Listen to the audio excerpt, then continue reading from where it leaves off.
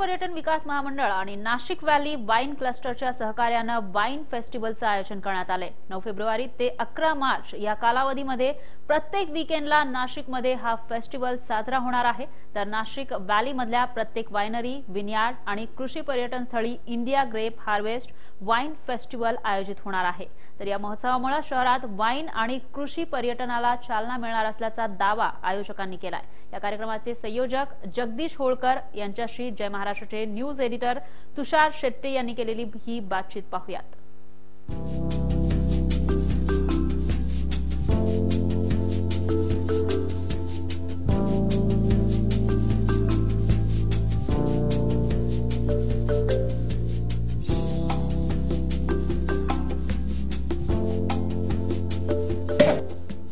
आतापर्यंत आपण Indian cricket premier league बघितलेली आहे प्रो कबड्डी लीग बघितलेली आहे. मात्र जर आम्ही तुम्हाला सांगितलं की आता एक वाईन लीग होतीये किंवा द्राक्षांच्या एका फेस्टिवलची लीग तयार होते तर कदाचित तुमचा विश्वास बसणार नाही. मात्र हे खरं आहे कारण की आता नाशिकमध्ये सुरू होतोय वाईन हार्वेस्टिंग फेस्टिवल जो जवळपास एक महिन्यापेक्षा जास्त वेळ चालणार आहे. आणि या फेस्टिवलचे जे आयोजक आहेत जगदीश होळकर आपण आता त्यांच्याशी बातचीत करूया. इंडिया ग्रेप हार्वेस्ट या फेस्टिवलचं त्या ठिकाणी आपण आयोजन केलेलं आहे. याच्यामध्ये लोकांना ग्रेप स्टॉम्पिंगचा त्या ठिकाणी मजा लुटता यावी. या ठिकाणी दोन कॅम्पसाईट आपण डेव्हलप केलेल्या आहे याच्यामध्ये कॅम्प साईटमध्ये त्या ठिकाणी रात्रीच्या वेळी बार्बेक्यू त्या ठिकाणी कॅम्प फायर बॉन फायर असे आपण ॲक्टिव्हिटीज त्या ठिकाणी हे केलेल्या आहे आणि फूड आणि वाईन पेरिंग याचं पण त्या ठिकाणी आपण लोकांना एक्सपिरियन्स देतो आहे तर आपण बघतो की इथे काही द्राक्ष लागलेली आहेत. मात्र जी सर्वसामान्य बाजारात द्राक्ष मिळतात आपल्याला ती द्राक्ष आणि या द्राक्षांमध्ये काही फरक आहे? ही स्पेशली वाईनची द्राक्ष आहे. याच्यामध्ये ही द्राक्ष जर बघितली आपण की याला याच्यामध्ये पल्पचं प्रमाण कमी आणि ज्यूसचं प्रमाण जास्त आहे. आणि या द्राक्षाच्या याच्यामध्ये स्पेशल फ्लेवर्स आहे. आणि वाईनमध्ये फ्लेवरला खूप महत्त्व आहे की वाईन टेस्टिंग करताना सी स्मेल अँड टेस्ट असं आपण जेव्हा बघतो की त्याचा अपिअरन्स कसा आहे. त्याच्यामध्ये कोणकोणते ॲरोमाज त्याच्यातून येतात कोणत्या फ्लूम्स येतात. आणि त्याचबरोबर या याच्यामध्ये त्याची टेस्ट कशी आहे? की द्राक्ष ही जी आहे ती हेवनली फ्रूट म्हटलं जातं. वाईनचा विषय जेव्हा येतो तेव्हा कुठेतरी वाद त्याच्यासोबत येतो कारण की त्याच्यामध्ये असलेलं अल्कोहोल. मात्र हे अल्कोहोल जरी यामध्ये असलं तरीही सरकारने कुठेतरी या वाईन फेस्टिवल आता प्रमोट करायला सुरुवात केलेली आहे. हा द्राक्ष आणि वाईन. कारण वाईन काय वाईनचं जर मर्यादित सेवन जे आहे ते अपायकारक नसून उपायकारक आहे. हे जगामध्ये प्रूव्ह झालेलं आहे. आणि म्हणून की सरकारने याच्याकडे सकारात्मक दृष्टिकोनातून बघितला आहे वाईन हा पर्यटनाचा विषय आहे. म्हणजे द्राक्ष आणि वाईनची शेती हा जगामध्ये नेहमीच पर्यटनाचा विषय राहिलेला आहे. आणि अशाच याच्यामध्ये आमचा छोटा शेतकरी जो असेल तो सुखी व्हावा. फार्मर एंटरप्रेनरची याच्यामध्ये कल्पना मोठी आहे की याच्यामध्ये ज्याची स्वतःची दहावीस एकरची द्राक्ष आहे त्यांनी अशा छोटीशी वायनरी त्या ठिकाणी जर हे केली त्यांनी पर्यटकांना त्या ठिकाणी जर डिलिव्हर केलं तर मला वाटतं तो त्या ठिकाणी चांगल्या पद्धतीने हे करू शकेल. आणि असं काही नाही आहे की वाईन अगदीच हे आहे. वाईन हे सोशल ड्रिंक आहे तसं पाहिलं तर. युरोपियन लोक त्याच्याकडं अन्न म्हणून बघतात. जसं म्हणालात की द्राक्षांमध्ये वेगवेगळी टेस्ट दिसते पण आपल्याला सर्वसामान्यपणे आपण बघतो की फक्त दोनच द्राक्षांचे प्रकार आपल्याला माहिती आहेत. म्हणजे एक हिरवी द्राक्ष आणि एक काळी द्राक्ष. या दोन द्राक्षांमधनं इतक्या सगळ्या प्रकारचे एक्स्ट्रॅक्ट हे नॅचरली निघतात? नॅचरली ऑफकोर्स याचं प्रिझर्वेशन करणं हा स्किलफुल जॉब आहे. तो वाईन मेकरला त्या ठिकाणी त्याचे जे मुळामध्ये आलेले जे काही फ्लेवर्स आहेत त्याची टेस्ट आहे ज्याचे कॅरेक्टर्स आहे ते प्रिझर्व करणं दीर्घ काळासाठी हे तर खरं चॅलेंजिंग असतं. नाशिक थंड हवेचं ठिकाण म्हणून जरी प्रसिद्ध असलं तरीही अवकाळी पाऊस आणि बदलता हवामान याचा शेतकऱ्यांना प्रचंड फटका बसलेला आहे. मात्र याचा तुम्हाला एक वाईन उत्पादकांना किती फटका बसलेला आहे? किंबहुना की जसं तुम्ही म्हणालात की वेगळा फ्लेवर आला असा एक हवामान बदललं मध्येच जर पाऊस आला तर असा काही एक वेगळा फ्लेवर नवीन तयार झालाय का? याच्यामध्ये वॉटर बेरीजचा थोडासा टेक्निकली प्रॉब्लेम येऊ शकतो परंतु आपण कम्पॅरेटिव्हली जर बघितलं टेबल ग्रेपच्या मानाने नक्कीच दरवर्षी अशा काही आपत्ती ज्या वेळेला आल्या तर वाईन ग्रेपचं नुकसान हे कमी झालेलं आहे. अगदी बरोबर. आपण बघितलं की आतापर्यंत दुष्काळ असेल अवकाळी पाऊस असेल याच्यामुळे शेतकऱ्यांना नुकसान झालेलं आहे. मात्र जर शेतकऱ्यांनी त्यांच्या शेतामध्ये द्राक्षांच्या ऐवजी जर वाईन ग्रेपची फार्मिंग केली तर कदाचित या निसर्गाच्या लहरीपणाचा फायदा हा शेतकऱ्यांना नक्कीच होऊ शकतो. कॅमेरा पर्सन शारीफसह तुषार शेटे जय महाराष्ट्र न्यूज द्राक्षांपासून वाईन जरी तयार होत असली तरी ही उत्तम आणि गुणवत्तापूर्ण वाईन तयार करण्यासाठी फार मोठी प्रक्रिया आहे. आणि हीच प्रक्रिया जाणून घेतली आहे आमचे न्यूज एडिटर तुषार शेट्टे यांनी थेट ग्रोवर जंपा वाईन कंपनीतून. वाईन बनवण्याची सगळ्यात पहिली प्रोसेस जी आहे ती ग्रेप स्टॉम्पिंग आपण बघितलेली आहे. मात्र आता ज्या वेळेला वाईनचं उत्पादन फार मोठ्या प्रमाणावरती करायचं असतं तसंच त्यावेळेला ही मागची जी मोठी मशीन आहे त्याच्यामध्ये ग्रेप प्रेसिंग केलं जातं. आणि ग्रेप प्रेसिंग केल्यानंतर हे वेगवेगळे टँक्स जे आपल्याला बाजूला दिसत आहेत त्या टँक्समध्ये वाईनचा जो ज्यूस किंवा ग्रेप्सचा जो ज्यूस तयार झालेला आहे तो प्रेस केला जातो. मात्र त्याच्यानंतर या सगळ्याची प्रोसिजर काय आहे ती आपण पुन्हा एकदा मनोज यांच्याकडनं जाणून घेणार आहोत. मनोजी आपण बघतोय की हा फार मोठा पाईप जो कनेक्ट केलेला आहे वेगवेगळे इथे हे बॅरल्स दिसत आहेत मोठे मोठे काय सांगाल कशा पद्धतीने हे वाईनचं प्रोसिजर चालतं? जे द्राक्ष तिकडून आलेत ते द्राक्ष आपण काय केले? सगळेचे सगळे द्राक्ष ह्या मशीनमध्ये टाकलेत या मशीनमध्ये टाकल्यानंतर आतमध्ये एक बलून आहे. एक फुगा आहे. तो फुगा काय करतो? फुगा आणि हे स्टेनलेस स्टील टँक या फुगा आणि स्टेनलेस स्टील टँकच्या आत आपण द्राक्ष टाकतो. साधारण याच्यामध्ये दोन अडीच टन द्राक्ष एका वेळेस टाकली जातात. आणि सगळे झाले की वरून दरवाजा बंद होतो. दरवाजा बंद झाल्यानंतर तो एअर कॉम्प्रेसर त्याचं चालू होतं.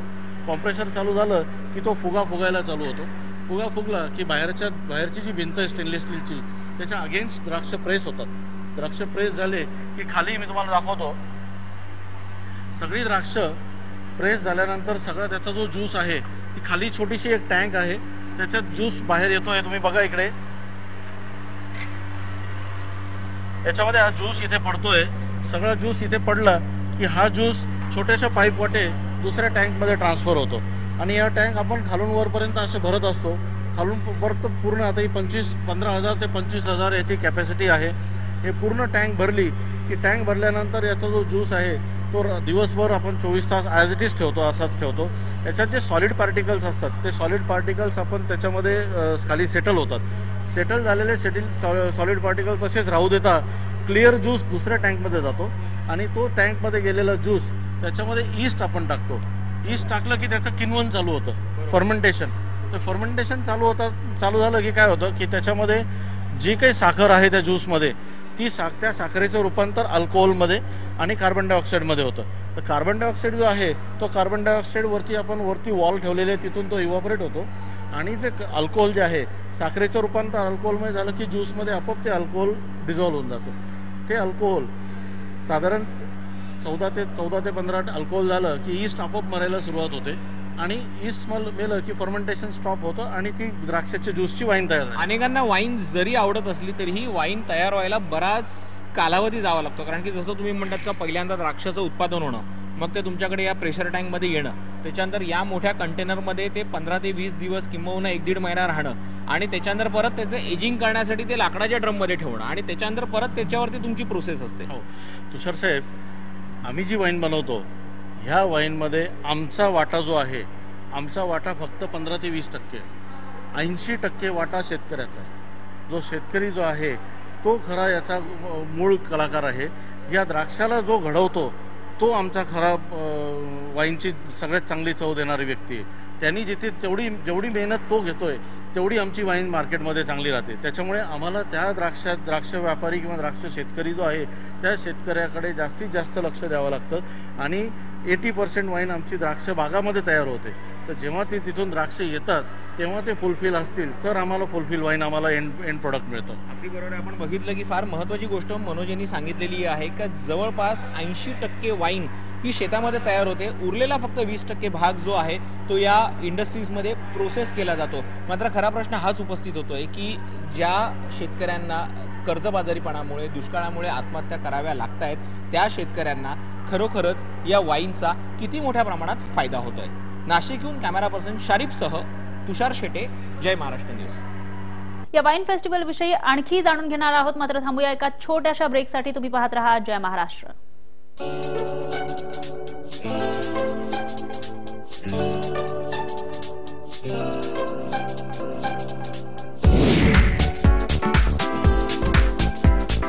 ब्रेकवर जाण्यापूर्वी आपण वाईन कशी तयार केली जाते हे पाहिलं होतं. मात्र आता वाईन प्यायची कशी हेही आपण जाणून घेऊयात. कारण वाईन ही अन्य मद्यापेक्षा वेगळी आहे आणि त्यामुळं तुम्हाला वाईनचा खराखुरा आस्वाद घ्यायचा असेल तर तुम्हाला वाईनचा ग्लास कसा धरायचा इथपासून ते फक्त वासावरून वाईन कशी ओळखायची हे आता आम्ही तुम्हाला सांगणार आहोत. ग्लास कसा पकडायचा आणि वाईनचा स्वाद कसा घ्यायचा ते आपण जाणून घेणार होतो आता मनोज जगताप यांच्याकडनं.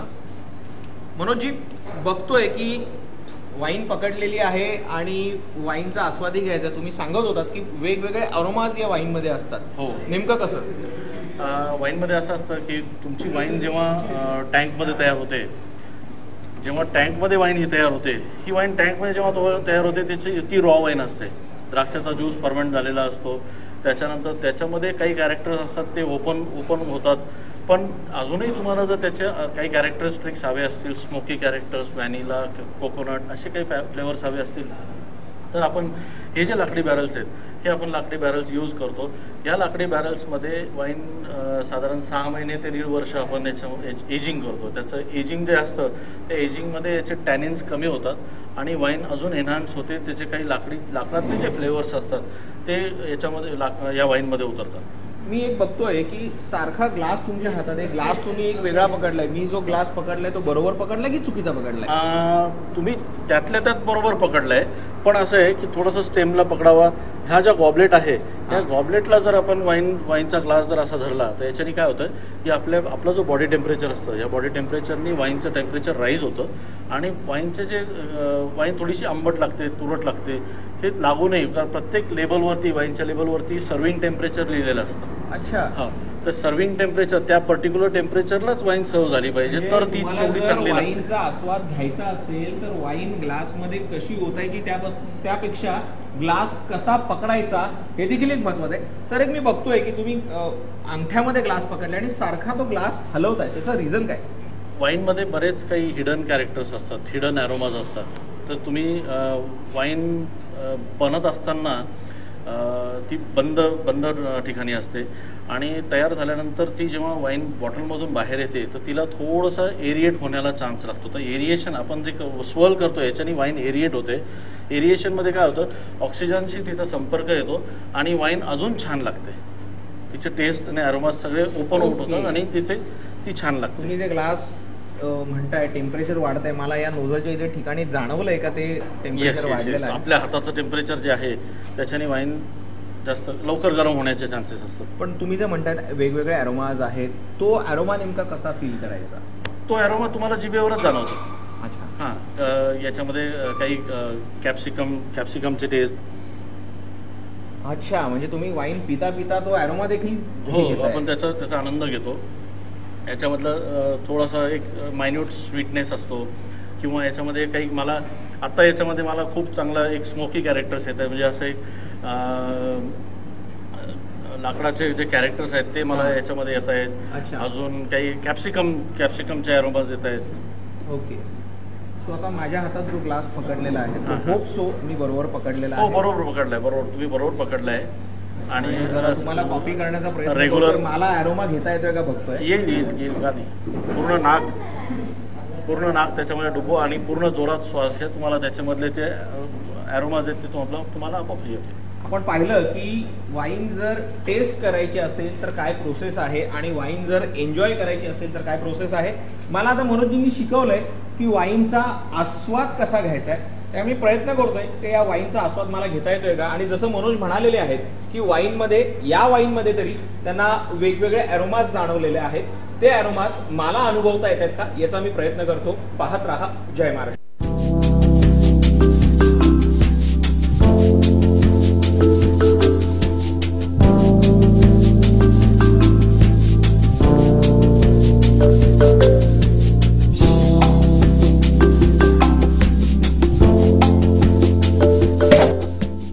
सध्या India grape harvest wine and wine फेस्टिवलच्या निमित्तानं या ठिकाणी मोठ्या प्रमाणात पर्यटकांची संख्या वाढतीय आणि त्यामुळं या ठिकाणी पर्यटकांना आकर्षित करण्यासाठी तंबूही बांधलेत आणि या तंबूमध्ये अनेक सोयी सुविधा या देशी आणि विदेशी पर्यटकांना देण्यात आल्यात. नाशिकची द्राक्ष अशी नाशिकची ओळख होती. मात्र आता नाशिकला एक नवीन ओळख देण्याचा प्रयत्न सुरू केलेला आहे आणि म्हणून नाशिकच्या द्राक्षांसोबत नाशिकची वाईन अशी ओळख निर्माण करण्याचा प्रयत्न सुरू झालेला आहे. इंडियन ग्रेप हार्वेस्टिंगच्या फेस्टिवलच्या निमित्तानं हाच प्रयोग सुरू झालेला आहे आणि म्हणून फक्त वाईन टुरिझम प्रमोट न करता वायनरीजची व्हिजिट असेल किंवा वायनरीजच्या बाजूला तलावाकाठी अशा सुंदर टेंटमध्ये राहण्याची व्यवस्था आता करण्यात आलेली आहे. या टेंट्सना खूप चांगला प्रतिसाद देखील मिळतोय आणि त्याचबरोबर निसर्गाच्या सान्निध्यात राहायला मिळत असल्यामुळे मुंबई असेल पुणे असेल किंवा नाशिककरांचा किंबहुना महाराष्ट्राच्या दुसऱ्या भागातल्या लोकांचाही याला खूप सुंदर प्रतिसाद मिळतोय. अतिशय शांत सुंदर आणि नितळ वातावरणामध्ये इथे लोकांना विकेंड एन्जॉय करायला आवडत आहेत साधा विचार करा. शहरातली रोजची धकाधकी धकाधकीचं आयुष्य बाजूला ठेवा. नदीकाठी शांतपणे जेवायला मिळते आणि त्याचबरोबर सोबत वाईन असेल तर ते लाईव्ह किंवा त्यानंतर येणारी झोप ही किती शांत असेल? आपल्यासोबत योगेश कमोद आहेत आपण त्यांना विचारणार आहोत. योगेशजी एक वेगळं टुरिझम सुरू केलेलं आहे. म्हणजे टेंट हे तलावाकाठी तर असतातच असतात. मात्र तोच माझा मुद्दा आहे. शांत निसर्ग सौंदर्य आणि त्याच्यासोबत वाईन. कसं आहे की नाशिक हे मुंबई पुण्यानंतर एक मेट्रो सिटी म्हणून नाशिककडे बघितलं जात आहे. मात्र या नाशिकमध्ये देखील आता इतकं धकाधकीचं जीवन झालंय.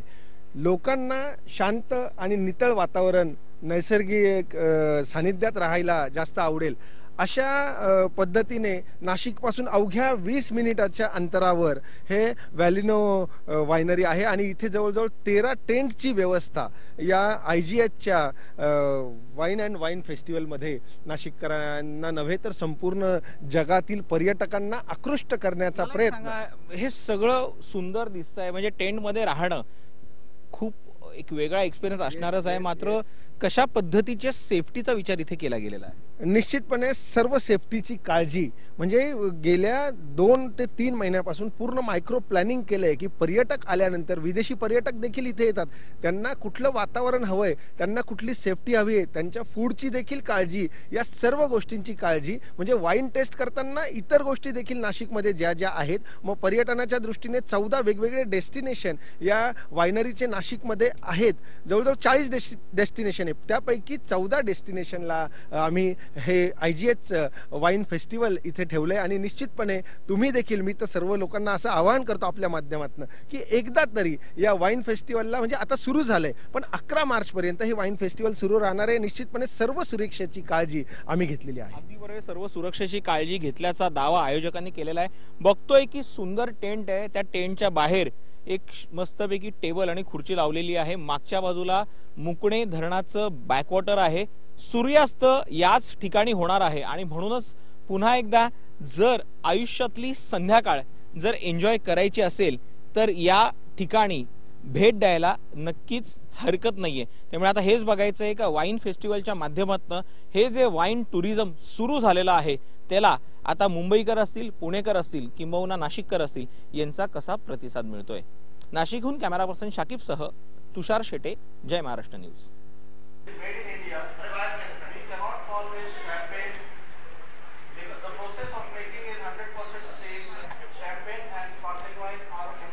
वाईन कशी तयार होते ती तर आपण बघितलेली आहे. मात्र आता वेळ झालेली आहे वाईन टेस्टिंगची आणि हीच वाईन मी टेस्ट करणार आहे. मात्र त्यामुळे तुम्हाला घ्यावा लागणार एक छोटासा ब्रेक पाहत रहा जय महाराष्ट्र न्यूज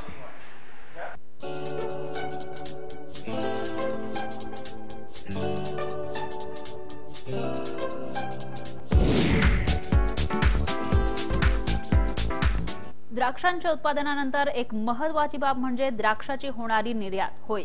द्राक्षांची निर्यातही नाशिकमधून मोठ्या प्रमाणात होते आणि द्राक्षांच्या या निर्यातीमध्ये नाशिकचा वाटा मोठा आहे. त्या द्राक्षांची वाढ मग त्यांचं पॅकेजिंग आणि एक्सपोर्ट हा पसाराही बराच मोठा आहे. तर बागेत तयार झालेली द्राक्ष ही प्रोसेस होऊन एक्सपोर्ट कशी होतात आणि हे सर्व होताना त्यांची गुणवत्ता कशी राखली जाते या संदर्भात सह्याद्री फार्मचे प्रोडक्शन हेड प्रशांत जयकृष्णे यांच्याशी केलेली ही बातचीत पाहूयात.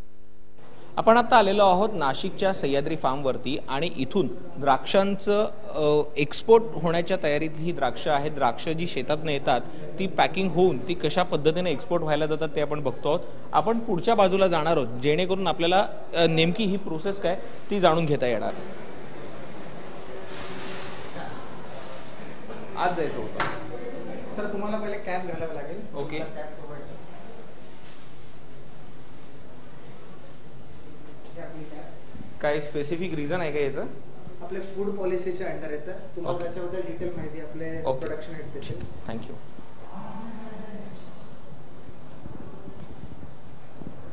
आणि तुम्हाला पूर्ण तुमचे कान वगैरे पूर्ण झाकायचे आहे ओके कुठल्याही पार्ट ओपन नको. ओके ठीक आहे.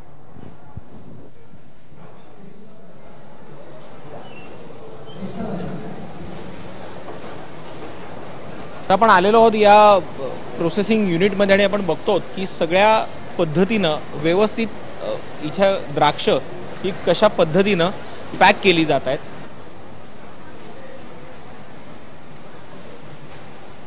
सर आपण जर बघितलं की त्या टोकापासून या टोकापर्यंत जी प्रोसेस येते आहे तुमचं हार्वेस्टिंग झाल्यानंतर ज्या वेळेला फ्रूट आतमध्ये येतं त्यावेळेला ते कुठल्या कुठल्या कंडिशन्स क्रॉस करतं इथलं क्वालिटी कंट्रोल कसं आहे?